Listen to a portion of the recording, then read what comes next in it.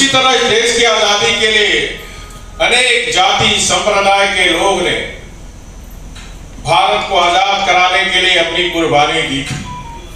लेकिन आज़ादी के बाद से जो सत्ता में बैठे हुए लोग हैं, महापुरुषों के साथ क्रांति वीरों के साथ भी भेदभाव करने का काम किया। और पहली बार जब आज़ादी के 75 वर्ष हम मना रहे हैं, अमृत महोत्सव मना रहे हैं माननीय प्रधानमंत्री जी ने देश को आह्वान किया, हमें गाँव गाँव ऐसे स्वतंत्रता सेनानी क्रांति वीरों सेनानियों का हमें याद करनी चाहिए।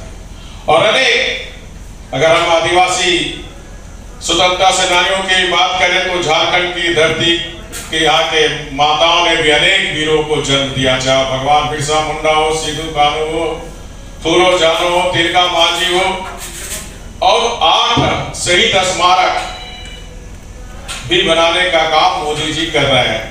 अगर आप झारखंड में भी जाएँ तो जहाँ भगवान बिरसा मुंडा जेल में थे, उनको भी शहीद स्मारक बनाने का काम मोदी जी के द्वारा कंप्लीट हो चुकी है और इसी 15 नवंबर को उसका भी उद्घाटन माननीय मोदी जी ने की। इस तरह शहीदों का सम्मान हर देशवासियों को करनी चाहिए।